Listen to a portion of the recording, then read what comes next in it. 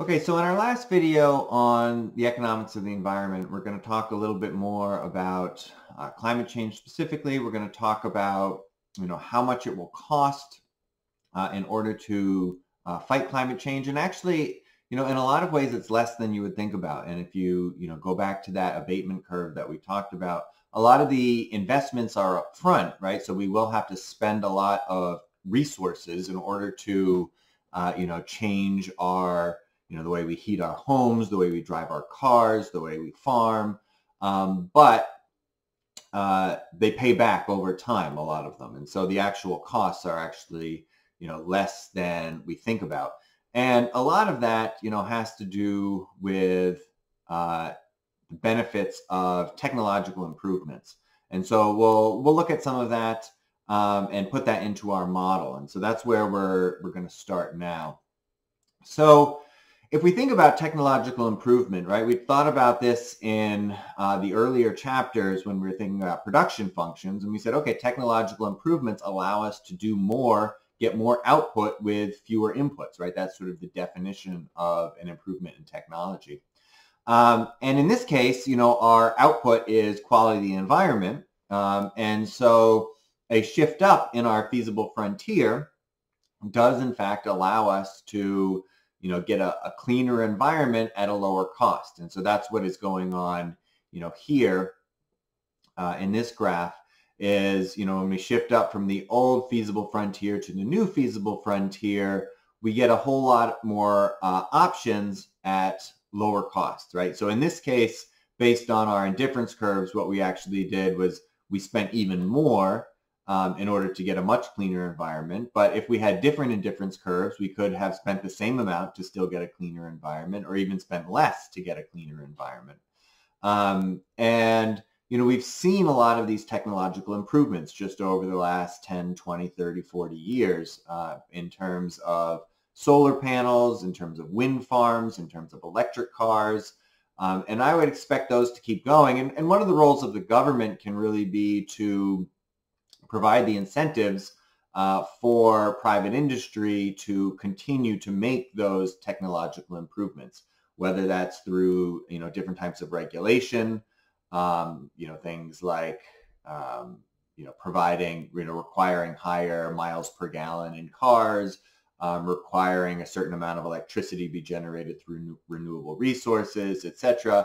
Or, you know, it can be through things like subsidies, right? Providing a subsidy to buy an electric car, providing a subsidy to change, you know, your oil burning furnace to a, a heat pump. Um, so those are different ways that the government can, you know, help shift up this feasible frontier. This is one example. This is just the cost of renewable energy production. And you can see, you know, it only goes to, you know, maybe 2009. Um, and really this has uh, continued, right? For both solar and wind, uh, prices have fallen significantly. Um, and a lot of that is the learning by doing, right? And learning by doing requires the doing. So it's not like we can just wait, right? We can't just say, oh, okay, things will get cheaper in 10 or 20 years. Um, it will only get cheaper if we are actually producing them. And so, you know, when we think about solar panels, we're not going to get better at creating solar panels unless people are actually buying solar panels and we're producing solar panels. Um, same with electrical cars, same with, you know, really anything that's going to uh, reduce carbon emissions.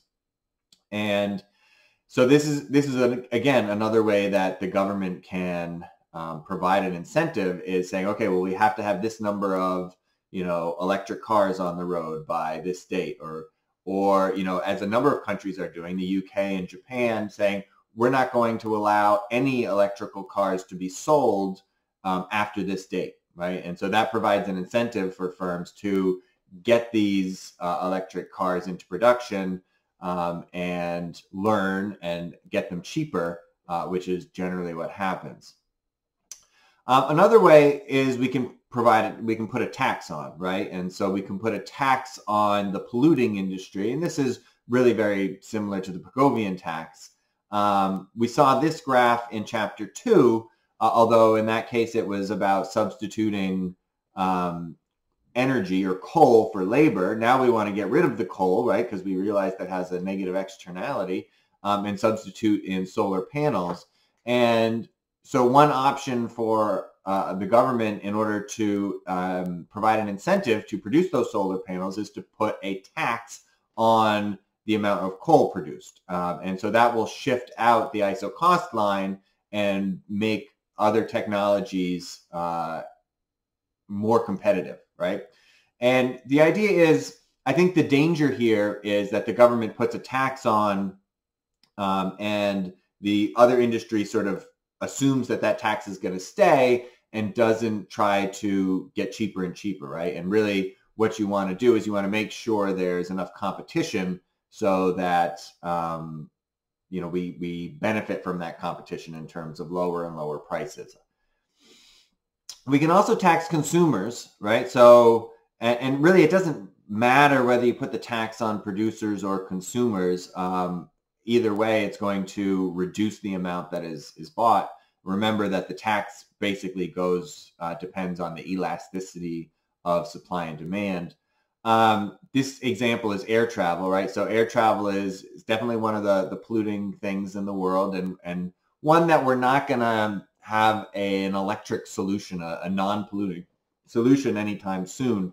Um, that said, it only is about 2% of the world's greenhouse gases. So it's something, but not a huge amount.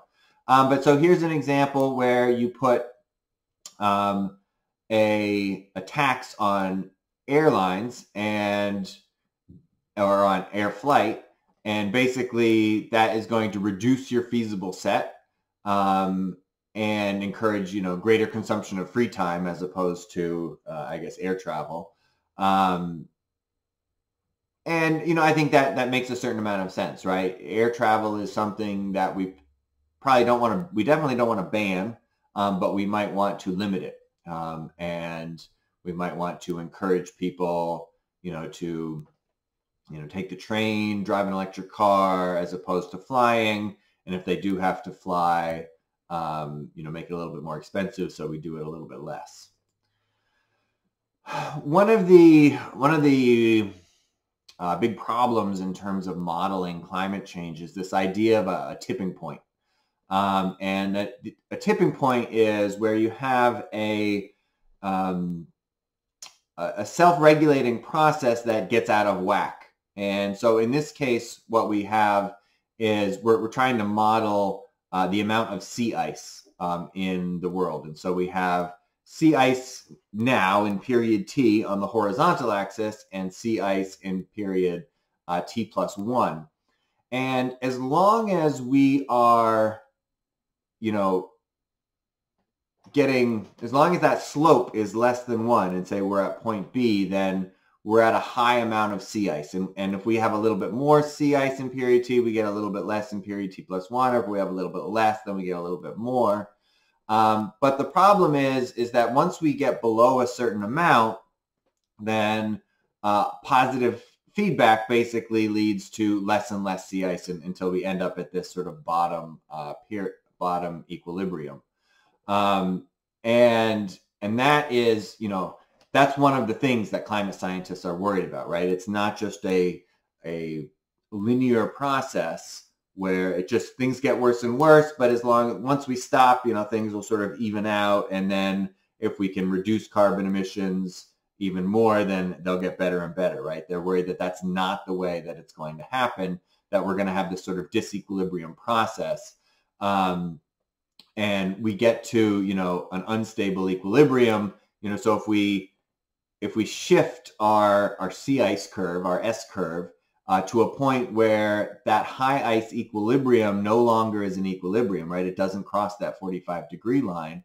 Um, then we only have this low sea ice uh, equilibrium um, and and there's not much we can do right? And then then we get the rising sea levels and all the bad things that that come with that. Um, and so this is obviously a major concern and, and one of the reasons that we probably want to look at sort of the worst case scenario of climate change when we're thinking about the costs and benefits. Um, and if we take that worst case scenario, then it basically says, all right, we need to do everything we can right now in order to reduce uh, greenhouse gas emissions. So we've talked about some of these challenges already, right? Is that um, for one thing, people are focused on the short term, so we often value the economy more than, than the environment, especially if these costs are in 50 years, 100 years. Uh, you know, in 100 years, we'll all basically be dead, right? So we're thinking about people um, in those future generations, right? That's number point number three there. Um, and it requires international cooperation. There's no international government that can impose Pigovian taxes or uh, quantity caps or cap and trade policies on a global scale. Um, and so we need to cooperate internationally. And, you know, given that, you know, there are the interests of the, uh, you know, countries with fossil fuels, the companies that burn the fossil fuels, um, the companies that dig the fossil fuels out of the ground, there's a lot of conflicts of interest within countries, which then boil over, you know, as conflicts of interest between countries as well. And then if we think about, you know, how much should we value the future? You know, we often discount the future in order to think about, you know, trade-offs between the present and the future. But discounting future generations doesn't really make sense in the same way, right? We don't necessarily want to discount the value of future lives compared to our present life. Um, that's not really what discounting is for. Um, and so some economists have have made models that you know discount the future like that, and they say, oh, we shouldn't do anything. And I think that that really doesn't make sense. So one of the things that we did see is that there are win-win policies um, in you know that second abatement cost uh, curve that we saw is that there are some policies that come with at least in the long run negative costs, and so we should do those right away. Um, and then we also need to think about, you know, the ones that we want to do um, that are going to cost us something, right? And hopefully if we take advantage of the, the negative cost ones, then we can also afford the, the higher cost ones as well. Um, and we do need to think about, right, how to balance things like nuclear power, which comes with some uh, risk and some, um, you know, makes people nervous uh, versus solar and wind, which uh, are carbon free, but uh, you know are not as reliable. Um, we need to think about how quickly we want to transition transportation. Uh, we want to think about what to do about agriculture, right, which is another polluter, mostly of methane, but also some of CO2. Uh, so these are all things that we need to think about from, you know, both at a social level and then at an international level. Um, we this is just a graph again from uh, the World Resources uh, Group, and you know this sort of says, all right, well, you know we're kind of here in 2020. Um, how much carbon dioxide can we get rid of through energy efficiency, uh, through low carbon energy supply, through terrestrial carbon? um, all these various things. And, and, you know, we have these opportunities to reduce the amount of carbon we put into the atmosphere by 2030, which is only 10 years away. Uh, but we have to take advantage of them. And that's going to require both governments to put in policies uh, to do that um, and international cooperation. And if we think about how much it would actually cost, it's actually cheaper than we might think, right? So the net global cost, this is a McKinsey estimate, um, if we do everything that costs less than 60 euros per ton, would cost us about 200 to 350 billion per year by 2030, right? So per year, that's uh, it's not nothing, but it's less than 1% of the forecasted global GDP in 2030, right? Less than 1%. And it's important to remember that one person's spending is another person's income.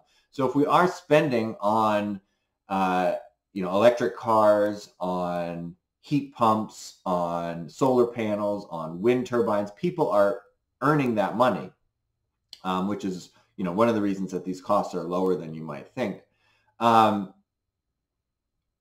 we do need, but a lot of these so do require upfront investments. Um, and so McKinsey says, all right, that would those investments uh, were you know would have been 530 billion euros uh, this year and 810 billion euros by 2030.